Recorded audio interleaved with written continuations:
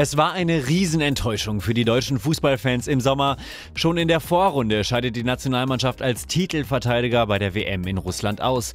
Ganz klar, dass die Situation nach einem Umbruch schreit.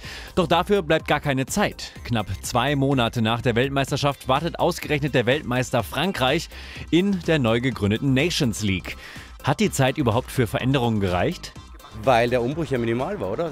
Fast drei neue Leute oder so einberufen etc. Das ist kein Umbruch. Umbruch ist, wie es jetzt gerade zum Beispiel Argentinien gemacht hat nach der WM. Die spielen auch am 7. ihre ersten Testspiele und haben irgendwie 18 neue Leute mit.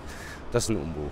Nee, bergab kann es äh, eigentlich nicht gehen. Denn wenn man sich die Qualität der Spiele anguckt, dann muss es irgendwo äh, dann doch wieder im Vergleich bergauf gehen. Ich bin zuversichtlich und ich hoffe auch, dass die Zuschauer und äh, die eigentlichen Fans sich ein bisschen zurücknehmen. Äh, es gibt so viele Mannschaften, die nach einer Weltmeisterschaft auf die Nase gefallen sind und äh, kann man jetzt an Spanien denken und die kommen also auch wieder. Und ich denke, der Jogi Löw, der war ehrlich und äh, ich gönn's ihm jedenfalls. Das Spiel gegen Frankreich ist das erste Spiel der Nations League Gruppe A1. Am Sonntag trifft dann der neue Weltmeister auf das dritte Team Niederlande. Deutschland hat spielfrei und macht stattdessen ein Testspiel gegen Peru.